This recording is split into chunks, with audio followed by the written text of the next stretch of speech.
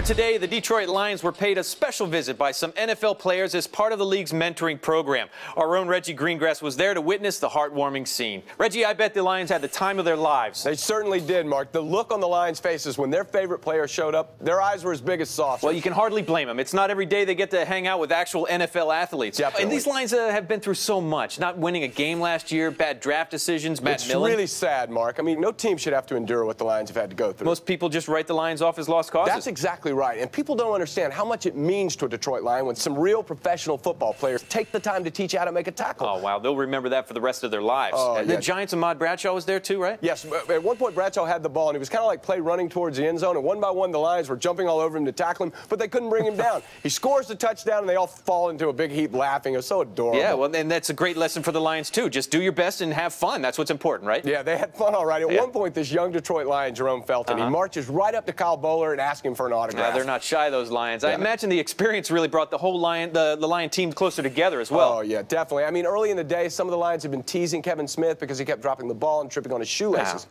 But Terrence Holt told the Lions that friends and teammates always help each other when things are tough. and that's a good lesson for them to learn. Yeah, and by the end of the day, Kevin was catching some passes and even running them into the There end go. zone. The Lions, who were making fun of him before, even started calling him Touchdown Kevin. Oh, that's that's really nice, especially coming from Holt. He used to be a Lion himself. That's right. He he told the Lions that with hard work, dedication, a little bit of luck, someday they could get out of Detroit too. Wow, I'm getting a little misty here. Thanks for uh, thanks for the story, Reg. got it. Coming up next, the Baseball Hall of Fame is inducted into the Hall of Halls of Fame.